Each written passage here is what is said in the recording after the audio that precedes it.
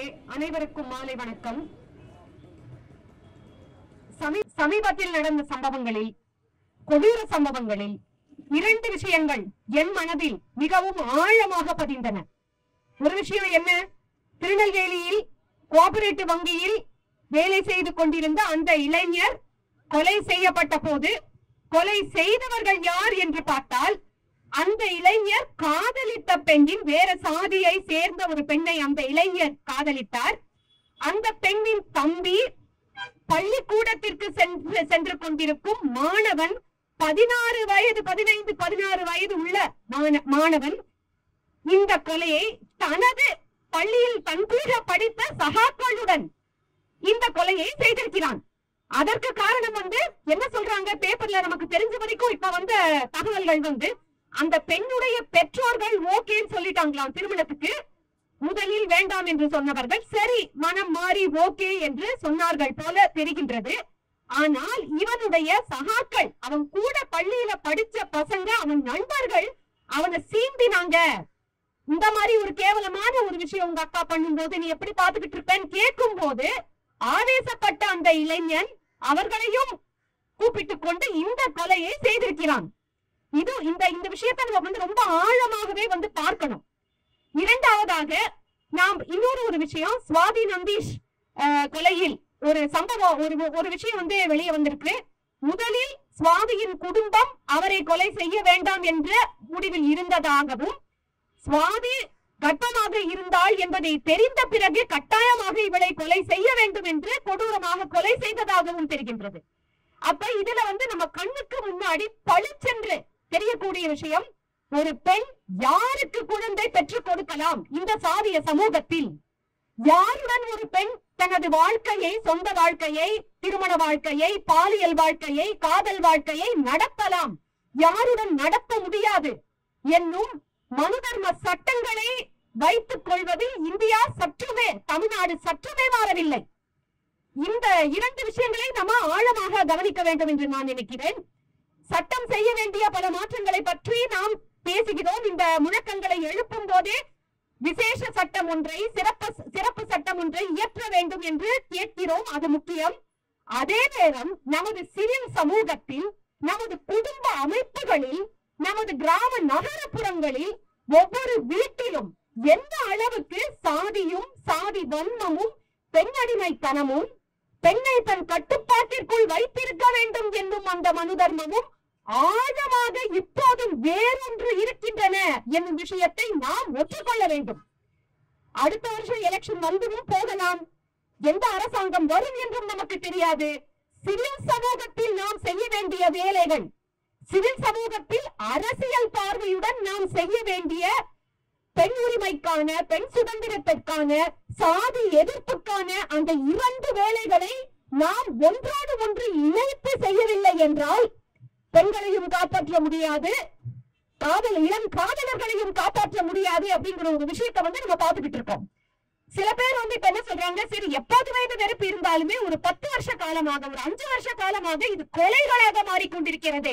அதற்கு என்ன காரணம்? அதிகமான கொலைகள் வந்து கொண்டிருக்கின்றது. அதற்கு என்ன காரணம் என்று பார்க்கும்போது நாம் நம் கண்ணை திறந்து ஆழமாக பார்க்க வேண்டும். நமது வளர்ச்சி பாதை நமது வளர்ச்சி பாதையினால் ஏற்படக்கூடிய ஏற்றத்தாழ்வுகள் இந்த ஒரு சமமே இல்லாத ஒரு ஏற்றத்தாழ்வு மிகுந்த ஒரு வளர்ச்சி பாதையில் நாம் சென்று கொண்டிருக்கும் போது அந்த வளர்ச்சி பாதைக்கும் சாதிய கொடுமைகளுக்கும் ஒரு ஆழமான சம்பந்தம் இருக்கின்றது.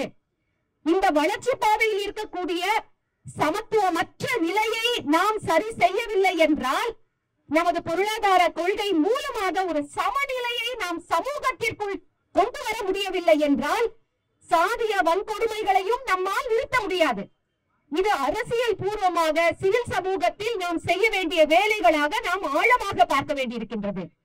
தலித் அல்லாத பிற்படுத்தப்பட்ட சமூகத்தை சேர்ந்த பெண்கள் தலித் அல்லாத குடும்பங்களில் இந்த பெண்களை நாம் கட்டுப்பாட்டிற்குள் வைத்துக் கொள்ள வேண்டும். திவ்யா இளவரசன் கேஸ்ல திவ்யா சங்கர் கௌசல்யா கேஸ்ல கௌசல்யா சுவாதி நந்தீஷ் கேஸ்ல சுவாதி. இந்த மூவருக்கும் பொதுவாக இருக்கக்கூடிய விஷயங்கள் என்னன்னு பாத்தீங்கன்னா படிச்சிருந்தாங்க. ஓரளவுக்கு அவங்க குடும்பத்துல கொஞ்சம் முன்னுக்கு வந்திருந்தாங்க. வெளி உலகத்தை பற்றி தெரியக்கூடிய வாய்ப்புகள் இருந்திருக்கிறது. இன்னைக்கு புள்ளி விவரங்கள் இதுதான் நமக்கு சொல்லுது. முந்தைய போல சமூகம் கிடையாது. இளைஞர்கள் அனைத்து சாதிகளை சேர்ந்த இளைஞர்களும் புள்ளி விவரங்களே இருக்கிறது. தமிழ்நாடு ஒரு இடம்பெயர்ந்து கொண்டிருக்கும் சமூகம். கிராமத்தை விட்டு அடுத்த கிராமம் கிராமத்தை விட்டு நகரம் வேலை வாய்ப்புகளை தேடும் போது வாழ்வாதாரங்களை தேடும் போது உயர்கல்வியை தேடும் போது இளைஞர்கள் சந்திப்பார்கள்.